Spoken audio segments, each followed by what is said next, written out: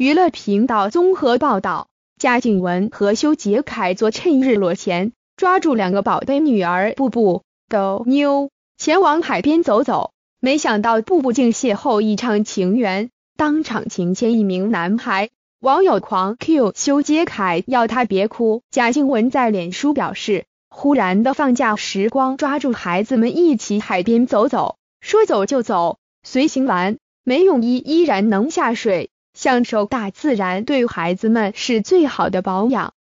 只见他晒出踏浪戏水照，惊见布布和一名包尿布的男孩手牵手，两人面朝大海，相互对视，画面相当有爱。网友纷纷喊话在一起，还有网友留言表示：“这是布布的新欢吗？这样子芭比会哭哭哦。”据悉，这名男孩其实是贾静雯弟弟卫斯理的两岁儿子月月，也就是布布的表弟，只是单纯的手牵手好朋友。修杰楷无需担心，布布又昨牵手一名小男孩。翻摄自贾静雯脸书，贾静雯中昨带一家人到海边戏水。